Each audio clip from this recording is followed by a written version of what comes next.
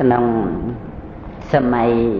ព្រះបាទទុដ្ឋគមនីអភ័យកសាងសវណ្ណមេលកៈចេតីឬក៏មហាចេតីឬក៏មហាសធោគឺជាប្រចេតីធំជាងគេណាចឹងសំខាន់ណាស់ដែលបានបញ្ចុះព្រះបរមសារីរិកធាតុណានឹងព្រះសារីរិកធាតុបញ្ចុះនៅក្នុងមហាចេតីហ្នឹងណាចឹងចេតីហ្នឹងដែលសោនុត្តរៈដែលជាសាមណេរ សោនុត្រៈសាមណេរហ្នឹងបានមានរិទ្ធណាជាព្រះអរហន្តមានរិទ្ធទៅយកអំពីឋានវិជុងនេមកទាំងជាប្រធិបដែលជាចំណែកមួយក្នុង8ចំណែកដែលរាមក្រាមនឹងយកទៅហើយបច្ច័យដីនឹងត្រូវបាក់រលំទឹកក៏បន្សັບចូលទៅក្នុងសមុទ្រនឹងនេយកយកទៅដល់កសាងមហាចេតដីនឹងដែល ព្រះអរហន្តមួយអង្គទ្រង់ព្រះនាមព្រះអន្តគុត្តៈនឹងឯងចាត់ចែងដើម្បីឲ្យសង់ជាមួយនឹងព្រះជាទុដ្ឋគមនីអភ័យកសាងនៅវិច័យដីហ្នឹងសង់ហ្នឹងចាត់ឲ្យសោនុត្តរៈសាមណេរហ្នឹងទៅយកប្រធាតបានប្រធាតអំពីពិភពនេះហ្នឹងមកបញ្ចុះនៅក្នុងមហាចេតដីហ្នឹងហ្នឹងហ្នឹង ហើយឥតដែលកសាងមហាចេតដីហ្នឹងវិសកម្មទេបុត្រនិមិត្តទេណាជាចេតដីសំខាន់ធំណាចេតដីហ្នឹងនៅពេលដែលព្រះជាអាពាតខ្លាំងនឹងហើយឲ្យគេអានពីបុណ្យអ្វីខ្លះដែលដែលព្រះជាបានកសាងនឹងកសាងលោហៈប្រាសាទក្តីទំនប់បំរុងបិណ្ឌបាតដល់ភិក្ខុសង្ឃក្តីកសាងមហាសធូបនឹងក្តីមិនតន់ មិនតន់ឲ្យគេឈប់ទេចិត្តតែគេឲ្យអានទៅណាប៉ុន្តែទៅជួបកន្លែងប៉ុននឹងមួយណាជួបកន្លែងប៉ុននឹងមួយដែលព្រះជានឹងសពរាជហប្រតិដោយអបរៈចេតនាចេតនាតាមក្រោយមកចឹងណាអបរាបរៈចេតនាហ្នឹងនឹកជ្រះថ្លាត្រង់ប៉ុនដែលបានថ្វាយ ប្រគេនចង្ហាន់បិណ្ឌបាតឲ្យដល់ព្រះពោធិជាមេលកមហាទេសធិរៈក្នុងព្រៃហ្នឹងពេញបតីនឹកជ្រះថ្លាពេញបតីថាឈប់ឈប់អានតទៅទៀតដែលព្រះអង្គធ្វើបន់អីខ្លះអីខ្លះមិនបាច់អានតទៅទៀតទេប៉ុណ្ណឹងបានណាតម្កល់ចិត្តត្រេកអរក្នុងបន់មួយហ្នឹងឯងបន់មួយហ្នឹងគឺអស្ចារ្យក្នុងក្នុងបហប្រតិព្រះអង្គណានឹកឃើញសបាយមករហូតដល់ទៅលឺ អានមកដល់កន្លែងហ្នឹងគឺថាសបាយបតិនៅកន្លែងហ្នឹងតម្កល់យ៉ាងសុខសួនមិនបាច់អានអីតទៅទៀតទេរួចទៅព្រះអង្គងាកមើលព្រះមហាសទ្ធោបទៀតងាកមើលព្រះមហាសទ្ធោបដែលនៅក្បែរហ្នឹងនៅខាងស្ដាំព្រះអង្គហ្នឹងរួចទៅក៏បិទបនេទៅសោយទីបង្គត់ណាប៉ុន្តែមុននឹងសោយទីបង្គត់មុននឹងសោយទីបង្គត់ហ្នឹងគឺព្រះសង្ឃដែលនៅក្បែរហ្នឹងក៏បាន សូត្រព្រះធម៌សូត្រព្រះពុទ្ធឯកាដែលបានរៀនមករួចទៅព្រះជាក៏សាកសួរដល់ប្រធេរៈទាំងឡាយថាទេវលោកនឹងឋានណាដែលសមគួរជាងគេនឹងប្រធេរៈក៏មានប្រធេរៈដីកាទូលព្រះជាថាឋានតោសិតគឺជាកន្លែងដែលព្រះបរមពោធិសត្វគ្រប់គ្រប់ព្រះអង្គ តែងអាស្រ័យនៅនឹងឋានតោសិតនោះឯងនឹងអញ្ចឹងដល់ព្រះរាជាសោយទីវង្គតទៅបដិសន្ធិក្នុងរាជរដ្ឋនៃឋានតោសិតទៀតណារាជរដ្ឋឋានតោសិតហ្នឹងមកទទួលព្រះរាជាតែហ្មងណារាជរដ្ឋគ្រប់ជាន់ទាំងអស់ក្នុងការមកចរៈស្រួហ្នឹងមកព្រះជាចង់កើតក្នុងទីណាក៏បានដែរហ្នឹងវាវាតេតងនឹងកម្មហ្នឹងហើយ ដែលធ្វើឲ្យព្រះរាជាបង្អោនចិត្តទៅឋានតុសិតហ្នឹងវាត្រូវគ្នានឹងប៉ុនហ្នឹងដែលជាបច្ច័យឲ្យវិបាកបដិសន្ធិក្នុងឋានតុសិតបដិសន្ធិក្នុងរាជរដ្ឋនឹងបានបតិសិនមហាសធោ3ជុំក៏បានទៅកម្មឋានតុសិតទៅចឹងប្របាទទេវេនំបយៈទេសៈទឹកឋានតាវតឹងប៉ុន្តែសម័យប្របាទទុដ្ឋគមនីអភ័យហ្នឹង ប្របាទទេវេនំបយៈទេសៈដែលបានជាទេវបុត្រហ្នឹងបានបង្អោនចិត្តមកចុតិពីឋានតើវតឹងចឹងនៅក្នុងឋានតើវតឹងបានតែ96ឆ្នាំមនុស្សមកបដិសន្ធិជាកូនចិត្តថៃនៅក្នុងកោះលង្កាហ្នឹងតាមពៈបណ្ឌទ្វីបហ្នឹងហើយបានបួសជាព្រះរហន្តនឹងមានរឿងរ៉ាវរបស់ព្រះជានឹងចំណែកប្របាទទុដ្ឋគិមនីអភ័យ បដិសន្ធិក្នុងព្រះជារដ្ឋនៃឋានតុសិតក៏បាននៅឋានតុសិតហ្នឹងណានឹងព្រះមហាសធោបនឹងបានបញ្ចុះព្រះបរមសារីរិកធាតុយ៉ាងសំខាន់ដែលសោនុត្តរសាមណេរនាំយកអំពីពិភពនេះមក ដែលជាចំណែកមួយក្នុង8ចំណែកដែលតូននៅព្រាមចែកទៅទៀតនៅពេលព្រះអង្គបរិនិព្វានបាន7ថ្ងៃបូជាប្រសពតូននៅព្រាមចែកទៅរៀមមកក្រៀមបានមួយចំណែក2នាលហ្នឹងបានបាក់បច្ច័យដីទៅប្រអប់ប្រឃាតហ្នឹងអណ្ដែតតាមទឹកចូលទៅសមុទ្រនេះយកទៅហ្នឹងសោនុត្តរសាមណេរបានទៅសុំអំពីស្ដេចនេះយកមកបញ្ចុះក្នុងមហាសធោបនឹងឯងនឹង ហើយនៅរហូតដល់សប្តាហ៍ថ្ងៃហ្នឹងមហាសធោបហ្នឹងនៅរហូតទៅនៅដល់ពេលអស់ពុទ្ធសាសនាក្នុងស្រុកមនុស្សពុទ្ធសាសនា5000ណាចឹងព្រះបរមសារីរិកធាតុនៅក្នុងតាមពៈបណ្ឌទ្វីបនឹងទាំងអស់បានមកជួបជុំគ្នានៅនឹងមហាសធោបនឹងឯង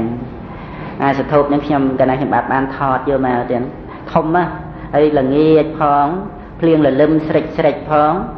ហើយថតតែនៅពីចម្ងាយបានជាប់ត្រង់ត្រេកអស់ថតចិត្តអត់ដឹងត្រង់ត្រេកទេតែថតពីឆ្ងាយហើយពណ៌សហ្នឹងពណ៌ដូចពពកពេលហ្នឹងឯងថតមើលទៅបច្ចេកដីនឹងពពកហ្នឹងបន្លំបន្លំតែគ្នាណាតតែពេលយប់ដាក់ភ្លើងទៅបានថត កាមេរ៉ាវីដេអូថតអំពីធោបារាមទៅផ្លូវចូលទៅធោបារាមធោបារាមនៅអំពីខាងជើងមហាសធោបនឹងប្រមាណ400ម៉ែត្រទៀតថតពីផ្លូវចូលទៅធោបារាមមកពេលយប់ឃើញពលឺភ្លើងនឹងឃើញច្បាស់ឃើញមហាសធោបនឹងច្បាស់ណាដល់ពេលពុទ្ធសាសនា5000ព្រះបរមសារីរិកធាតុច្រើនណាស់ទៀតនៅកោះលង្កាហ្នឹងតាមពៈបណ្ឌទ្វីបហ្នឹងត្រូវមកប្រជុំគ្នា មកប្រជុំគ្នានៅក្នុងមហាសធោបនឹងឯងរួចទៅបានទៅកាន់នេកវ័ននេកទ្វីបហ្នឹងគឺជានេកវ័នដែលនៅកណ្ដាលកោះលង្កាសប្ថ្ងៃឈ្មោះថា Candy Candy ហ្នឹងគឺកន្លែងដែលមានព្រះវិហារជាបច្ច័យដីបញ្ចុះព្រះទេតធាតុព្រះទេតធាតុស្ដាំខាងក្រោមទៀត ណាហ្នឹងខ្ញុំកណ្ដាលខ្ញុំបានមិនតាន់ទីប្រាប់ដល់កន្លែងប្រធាតហ្នឹងទេណាហ្នឹងនៅនេកវ័នហ្នឹងព្រះសម្មាសម្ពុទ្ធបរមគ្រូនៃយើងព្រះអង្គកាលដែលគង់បជននៅឡើយព្រះអង្គបានជាងទៅលើកទី1ហើយនឹងលើកទី2លើកទី1ទូលមានយៈដែលធ្វើនៅសេចក្តីអន្តរាយដល់មនុស្សលើកទី2ទូលមាននេអ្នកអំនិងអ្នកក្មួយនឹងវាយដណ្ដើមសម្បត្តិគ្នានឹងក៏ព្រះអង្គទ្រង់យាងទៅហើយព្រះអង្គទ្រង់គង់ប្រថាប់នៅនឹងអ្នកកវ័ននឹងចំកណ្ដាលកោះហ្នឹងហើយសប្ថ្ងៃហ្នឹងគឺព្រះវិហារបញ្ចុះនៅព្រះចង្គមកែវស្ដាំខាងក្រោមហ្នឹងនៅនឹងអ្នកកវ័នហ្នឹងដល់ពេលពុទ្ធសាសនាគ្រប់5000 ព្រះបរមសារីរិកធាតុក្នុងកោះលង្កាទាំងអស់ហ្នឹងត្រូវទៅជុំគ្នានៅនឹងមហាសទ្ធោរួចទៅបានមកកាន់នេកវ័ននឹងឯងនេកវ័នហ្នឹងរួចទៅបានទៅកាន់ពោធិមណ្ឌលកន្លែងព្រះអង្គត្រាស់ណាហើយចំណែងព្រះបរមសារីរិកធាតុនៅក្នុងកន្លែងដតីទៀតក្នុងស្រុកមនុស្សក្តី ហ្នឹងនៅស្រំទុដងក្តីនៅអឺគល់រតឹងនិក្រូតវ័នក្តីនៅកន្លែងផ្សេងផ្សេងព្រះសក្យនីចតីក្តីនៅទេវលោកក្តីនៅព្រំមលោកក្តីណានៅនៅឆ្អឹងដងកបិតខាងឆ្វេងទៀតនៅបច្ចេកដីក្នុងព្រំមលោកណាព្រោះឆ្អឹងដងកបិតខាងស្ដាំហ្នឹងកណ្ដាគុណចាស់បានជ្រាបហើយណាខ្ញុំកណ្ដាខ្ញុំបាទសំដែងហ្នឹង គឺប្រអិនបានយកទៅនៃសុមនៈសាមណេរសុមនៈសាមណេរដែលជាបុត្ររបស់ព្រះនាងសង្ឃមិត្តាហ្នឹងបានទៅសុំពីប្រអិនមកមិនអញ្ចឹងបានស្ដាប់ហើយមិនអញ្ចឹងហ្នឹងគឺចឹងដងកំបិតខាងស្ដាំហ្នឹងបញ្ចុះក្នុងធោបារាមទៀតសពថ្ងៃហ្នឹងធោបារាមនៅ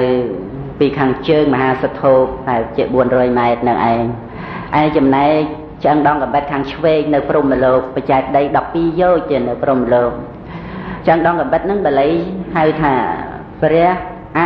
ខកធាតណាអកចង្ខកព្រះអខអខកធាតអខកធាតគឺប្រធាតឆ្អឹងដងកំបិតខាងឆ្វេងនៅព្រំលោកហ្នឹងព្រះទុសធាតកាលដែលព្រះអង្គទ្រង់យាងទៅបួសហើយព្រំបានយកនៅត្រៃចីវរមកថ្វាយព្រះអង្គបានយកនៅសម្លៀកបំពាក់ព្រះបរមពុរិស័ទ យកទៅបញ្ចុះក្នុងបច្ច័យដីហ្នឹងហើយដល់ពេលព្រះអង្គព្រះនិព្វានទៅបានព្រះអខកធាតនេះឆ្អឹងដងកបិតខាងឆ្វេងនៅព្រំលោកព្រះអខកធាតឆ្អឹងដងកបិតស្ដាំនៅធោបារាមនៅលង្កាសប្ថ្ងៃហ្នឹងនឹងប្រធាតទាំងអស់នឹងបានទៅប្រជុំគ្នានៅពោធិមណ្ឌលតែម្ដងទៀតណាទេវលោកព្រហ្មលោកក្នុងវិតតិក្នុងចក្រវាលដតី ចក្រវាលដតីក៏មានដែរណាទៀតព្រោះទេវតាបានមកយកទៅដូចជាព្រះតន្តព្រះតន្តធាតថ្មិញណាទេវតាបានយកទៅចក្រវាលមួយមួយចក្រវាលមួយព្រះកេសៈព្រះសក់ណាព្រះកេសៈធាតហ្នឹងព្រះលោមធាតហ្នឹងកាលដែលបូជានឹងអត់ឆេះទេណាលោមរោមទាំងអស់សក់ទាំងអស់ព្រះកេសធាតព្រះលោមធាតហ្នឹងអត់ឆេះទេទេវតាបាននាំយកទៅមកចក្រវាលមួយមកចក្រវាលមួយ ដល់ពេលហ្នឹងគឺត្រូវមកប្រជុំគ្នាចឹងសំបីក្នុងទេវលោកព្រហ្មលោកនៅមានពុទ្ធសាសនាអីយ៉ាងណាក៏ដោយតែដល់ដល់ស្ថានមនុស្សនឹងអស់មានអ្នកគោរពអ្នកកាន់អ្នកប្រតិបត្តិត្រូវព្រះបរមស្រីរកធាតុនឹងមកប្រជុំគ្នានៅពោធិព្រឹកហ្នឹងតែព្រះធាតុនៅតាមពៈបណ្ឌទ្វីបហ្នឹងបានមកកាន់មហាសទ្ធោរួចបានទៅអ្នកកវ័នរួចបានទៅពោធិមណ្ឌល ណានឹងរឿងប្រធាតណាក្នុងសម័យព្រះបាទទេវេនំពយៈទេសៈដែលជាជីតារបស់ព្រះបាទទុដ្ឋគមនីអភ័យហ្នឹងក្នុងសម័យដែលដាំនៅមហាពោរួចហើយណាកន្លែងដាំមហាពោហ្នឹងមហាពោដែល ដែលព្រះនាងសង្ឃមេត្តាបាននាំយកមកដោយសំពៅទៀតណានៅនឹងវត្តកល្យាណីនៅក្នុងកូឡុំបូវត្តកល្យាណីហ្នឹងមានអឺព្រះវិហារហើយគូរូបគូរូបព្រះនាងសង្ឃមេត្តានៅលើសំពៅហើយមានដើមពោមានស្វេតឆ័ត្របាំងពីលើដើមពោថតថតរូបទៅឃើញច្បាស់ស្អាតចឹង តែមើលនៅក្នុងជញ្ជាំងហ្នឹងមិនសូវច្បាស់ប្រហែលថតយកមកផ្ដិតទៅឃើញច្បាស់ហ្នឹងហ្នឹងនៅនឹងវត្តកល្យាណីណាវត្តកល្យាណីហ្នឹងព្រះសម្មាសម្ពុទ្ធបរមគ្រូព្រះអង្គធ្លាប់បានយាងទៅលើកទី3ព្រះអង្គធ្លាប់គង់ចូលនិរោធសមាបត្តិនៅកន្លែងសទ្ធោកល្យាណីហ្នឹងសទ្ធោកល្យាណីហ្នឹងក៏ធំអឺធំប៉ុនធោបារាមដែរ ហើយមានប្រពុតបរិមាមួយអង្គមិនដឹងធ្វើពីអីទេប៉ុន្តែពួរសស្អាតណាស់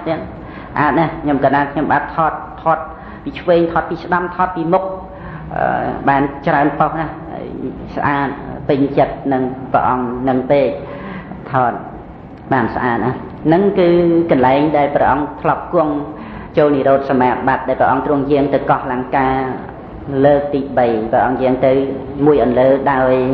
ព្រះភិក្ខុសង្ឃ500អង្គព្រះអង្គទ្រង់ប្រទានព្រះបាទនៅលើភ្នំសុមនៈកោតនឹងផងណាមានរឿងប្រកេនគុណចាស់ជួនញាតិញោមច្រើនណាទៀតណាហ្នឹងហ្នឹង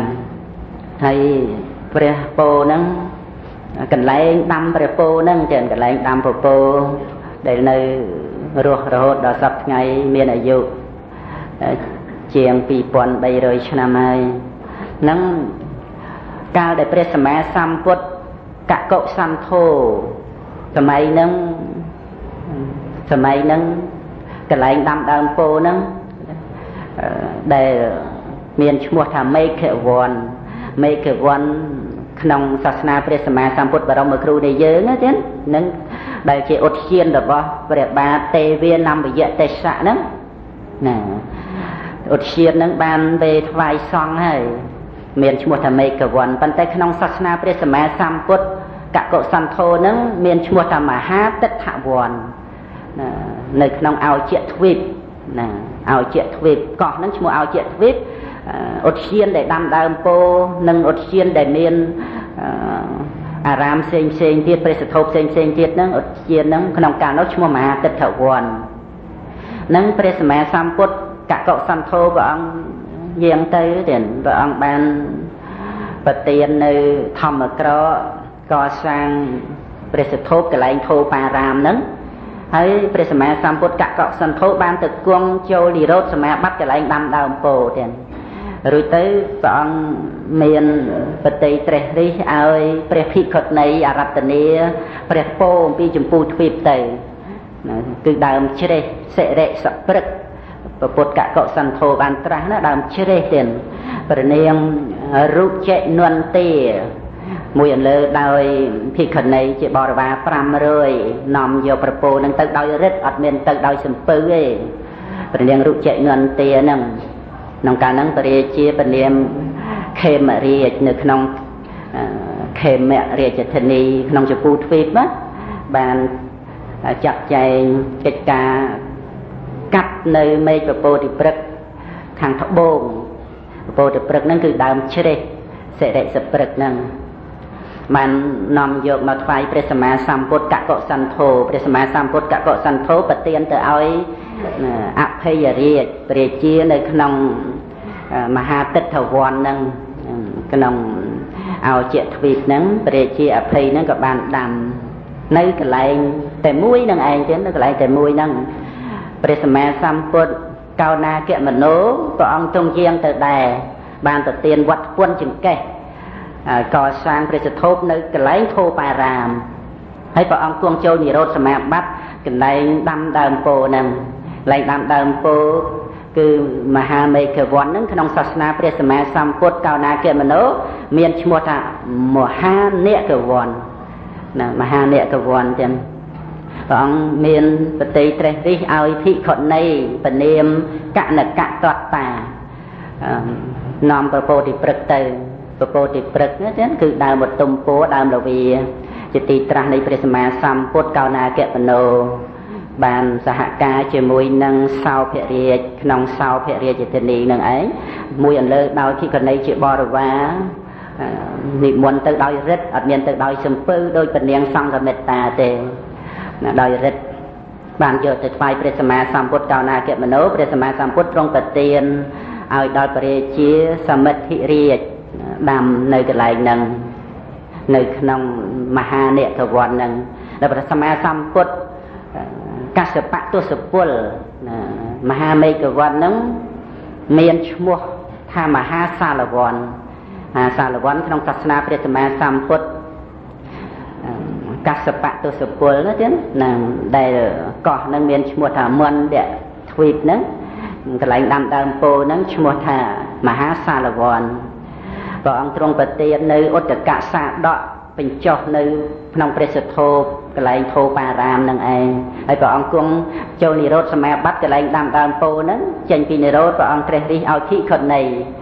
ភិក្ខុនីប្រនាមសុធម្មាណាសហការជាមួយនឹងព្រមតត ក្នុងនគរពរាណសីនាំយកមេឃពោធិព្រឹកពីខាងទិសតសិនគឺដើមជ្រៃទៀតដើមនិក្រូតគឺដើមជ្រៃនាំយកទៅដោយរិទ្ធទៀតមួយអន្លើដោយភិក្ខុនី500ហ្នឹងយកទៅថ្វាយព្រះសម្មាសម្ពុទ្ធកសបៈព្រះអង្គទ្រង់ប្រទានឲ្យព្រះរាជាជាយន្តរាជជាយន្តរាជដាំនៅកន្លែងហ្នឹងណាហើយក្នុងសាសនាព្រះសមណគោតមបរមគ្រូគឺ ក្នុងកាលដែលព្រះអង្គគង់ប្រជជននៅឡើយអត់អត់បានដាំទេហ្នឹងហើយកន្លែងធោបារាមហ្នឹងក៏ព្រះអង្គអត់បានទៅទានអីដែរប៉ុន្តែព្រះអង្គទ្រង់យាងទៅលើកទី3ព្រះអង្គទ្រង់គង់និរោធសមាបត្តិច្រើនកន្លែងណាស់នៅធោបារាមក៏ព្រះអង្គគង់និរោធសមាបត្តិកន្លែងដាំពោធិព្រឹកក៏ព្រះអង្គគង់និរោធសមាបត្តិកន្លែងកល្យាណីសធោបហ្នឹងក៏ព្រះអង្គគង់និរោធសមាបត្តិណា ដល់ទៅព្រះអង្គប្រនិព្វានទៅបានកសាងនៅធោបារាមបញ្ចុះព្រះអខកធាតខាងស្ដាំឆ្អឹងដងកបិតខាងស្ដាំនៅធោបារាមហើយដល់សម័យដែលចាត់ចែងដាំព្រះពោធិព្រឹកពីព្រោះព្រះនាងអនុឡាទេវីណាចាំខ្ញុំកណ្ដាលខ្ញុំបាទរៀបរាប់តាមលំដាប់ផ្សារថ្មីខ្លះខ្លះទៀតរឿងរ៉ាវហ្នឹងដែលត្រូវការបួសជាភិក្ខុនីហ្នឹង ព្រះមហិន្ទធេរៈនិងគណៈសង្ឃមិនអាចបំពោះបានទេគឺតលតែស្ត្រីហ្នឹងបួសក្នុងសំណាក់ភិក្ខុនីសិនមានការឧបសម្បទាពីសំណាក់ភិក្ខុនីសិនបានភិក្ខុសង្ឃនឹងឧបសម្បទាជាលើកទី2អញ្ចឹងភិក្ខុនីបួសដោយឧបតោសង្ឃណាទៀតអញ្ចឹងគឺតទៅទៅអរតនីភិក្ខុនីព្រះនាងសង្ឃមេត្តាហ្នឹងហើយសូមអរតនីព្រះពោធិព្រឹកមកផងអសត្តព្រឹកហ្នឹងបានចាត់ចែងរាជទូតដើម្បីទៅគាល់ប្របាទធម្មាសោកនឹងសូមអរតនីព្រះនាងសង្ឃមេត្តានិងភិក្ខុនីមួយលើដោយប្រពោធិព្រឹកទាំងព្រះនាងសង្ឃមេត្តានឹង ប្អូនស្រីបង្កើតរបស់ព្រះមហិន្ទថេរៈព្រះមហិន្ទថេរៈនឹងនិមន្តទៅមុនទាំងនិមន្តទៅជាមួយនឹងភិក្ខុ4អង្គណាមួយអង្គទ្រង់ពនាមអត្តយៈថេរៈអត្តយៈថេរៈណាមួយអង្គទៀតទ្រង់ពនាមឧត្តយៈថេរៈណាមួយអង្គទៀតទ្រង់ពនាមផតសាលថេរៈមួយអង្គទៀតទ្រង់ប្រនាមថាសម្ពលៈថេរៈ4អង្គហ្នឹង គម្រប់5និងព្រះមហិន្ទថេរៈណាហើយសុមនៈសាមណេរសុមនៈសាមណេរបាននៅអភិញ្ញា6មានរិទ្ធអស្ចារ្យចឹងសុមនៈសាមណេរហ្នឹងហើយដែលបានទៅយកព្រះធាតអខកធាតឆ្អឹងដងបែបខាងស្ដាំពីប្រអិនមកហើយនឹងព្រះធាតអំពីជីតាគឺបាទធម្មាសោកមកបញ្ចុះនៅក្នុងចេតដីបរិពតទៀតហ្នឹងមានរឿងរ៉ាវច្រើនណាស់ខ្ញុំកន្លងគ្រាន់តែរៀបរាប់ ខ្លីៗសិនចាំត្រឡប់សារមកលើកទៀតហោហែទៀតណាហ្នឹងហើយនឹងឧបាសកម្នាក់ជាព្រះអនាគាមីបុគ្គលឈ្មោះផនឌុកៈឧបាសកផនឌុកៈបាសកនឹងត្រូវជាក្មួយរបស់ព្រះមហិនក្មួយជាដូនមួយទៀតរឿងរ៉ាវយ៉ែក្នុងកាលដែលប្របាទធម្មាសោកនឹងនៅជាឧបរាជរបស់ប្របាទពិនទុសាបាទពិនទុសាជាបៃតាបាទធម្មាសោកនឹងបងគេទាំងអស់ហ្នឹងហើយមានប្អូន រួមផ្ទៃម្ដាយហ្នឹងមួយរូបហើយនឹងផ្សេងផ្សេងទៀតច្រើនជាឧបរាជប៉ុន្តែព្រះរាជាឲ្យទៅគ្រប់គ្រងនៅនគរអុជេនីនៅពេលដែលធ្វើដំណើរទៅកាន់នគរអុជេនីដើម្បីគ្រប់គ្រងនគរអុជេនីហ្នឹងតាមផ្លូវហ្នឹងក៏បានឈប់សម្រាកនៅក្នុងវេតិសនគរនៅក្នុងវេតិសនគរហ្នឹងមានសិទ្ធិនៅក្នុងនគរហ្នឹង មមតំដោយទ្រព្យសម្បត្តិជាងគេមានឈ្មោះថាវេតិសសិទ្ធិក៏នៅសម្រាប់នៅផ្ទះលោកសិទ្ធិហ្នឹងមើលចុះមើលឡើងទៅឃើញកូនកំមុំលោកសិទ្ធិហ្នឹងណាវេតិសធិតាទៅទៅពេញកំមុំរូបរាងស្អាតបាតអត់ក្រំស្រឡាញ់មិនបានទេស្រឡាញ់ណាឃើញពេញចិត្តស្រឡាញ់ហើយអំណាចជាឧបរាជចង់បានបានហើយ សុំលោកសិទ្ធិសុំឪពុកម្ដាយពីគ្រោះភាសាសុំទៅបានបកគលឲ្យបកគលឲ្យតែថ្ងៃហ្នឹងឯងគលឲ្យតែថ្ងៃហ្នឹងដល់អញ្ចឹងយប់ហ្នឹងនៅជាមួយគ្នាទៅព្រះមហិន្ទថេរៈបដិសន្ធិយប់នឹងឯងហ្នឹងហើយក៏បាននាំវេតិសធិតានឹងឯងទៅកាន់នគរអុជេនីទៅទៅនៅនគរអុជេនីបាន2ឆ្នាំបានប្រសូតពនាងសង្ឃមេត្តា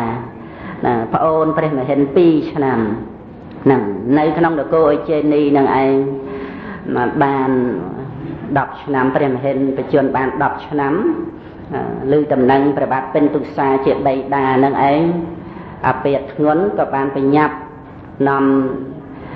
ភរិយាហើយនឹងកូនទាំងពីរនឹងមកទុកនៅនឹងនគរវេតិសនគរនឹងឯងហ្នឹងបាទធម្មាសោកហ្នឹងយាងមួយព្រះអង្គឯងមក មកចាត់ចែងសម្រាប់បងប្អូនដែលម្ដាយផ្សេងផ្សេងគ្នាអស់ទឹកសន្ធប់ប្រហែល99អង្គចាត់ចែងសោយរាជហ្មងទាំងដណ្ដើមរាជហ្នឹងប៉ុន្តែមិនតាន់សោយរាជមិនតាន់អភិសេកទេនៅ4ឆ្នាំបន្តអំពីប្របាទពិនទុសាសោយទីបង្គត់ទៅនៅបាន4ឆ្នាំបានអភិសេកណាជាមួយនឹងព្រះនាងអសន្ធិមិត្តាហ្នឹង ហើយវេតិសធិតានៅនគរឯនេះទេដល់បានអភិសេកក្នុងពុទ្ធសករាជ218ទៀតព្រះអង្គយាងមកប្របាទពិនទុសាសោយទីបង្គត់ពុទ្ធសករាជ214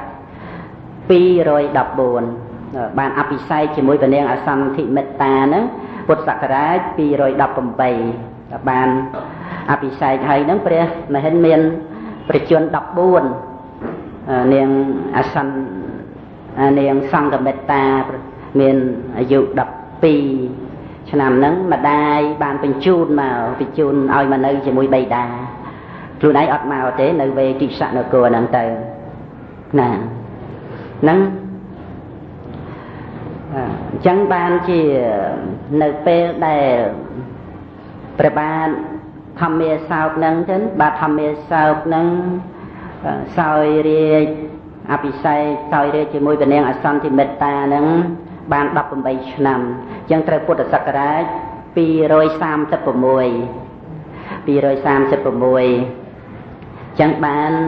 ចាត់ចែងឲ្យព្រះមហិន្ទថេរៈព្រោះព្រះមហិន្ទដែលមកនៅជាមួយនឹងបៃតារួចទៅបច្ចុប្បន្ន20ឧបសម្បទាណាចឹងជន20ព្រះមហិន្ទថេរៈអឺ បានបរិនិព្វាននៅកោះលង្កានឹងឯងតាមពៈបណ្ឌិទីមានបច្ច័យដីវិចុះប្រធានព្រះមហិន្ទថេរៈទៀតហើយព្រះមហិន្ទថាព្រះមហិន្ទថេរៈបរិនិព្វានក្នុងបជន80គត់ណានឹងមានវសា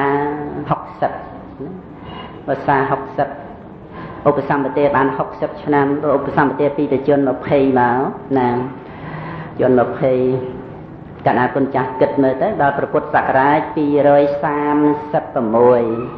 236ហ្នឹងបានចាត់ចែងឲ្យព្រះមហិន្ទថេរៈនឹងឯង